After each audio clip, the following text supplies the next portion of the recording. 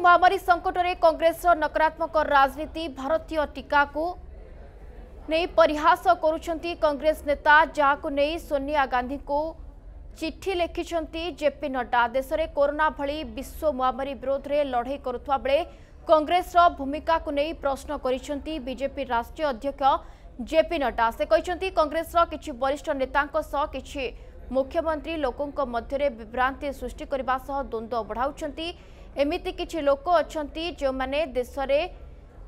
ତିଆରି ହୋଇଥିବା ଭ୍ୟାକ୍ସିନେସନକୁ ପରିହାସ କରୁଛନ୍ତି ମହାମାରୀ ସଙ୍କଟରେ କଂଗ୍ରେସର ଏଭଳି ନକାରାତ୍ମକ ରାଜନୀତି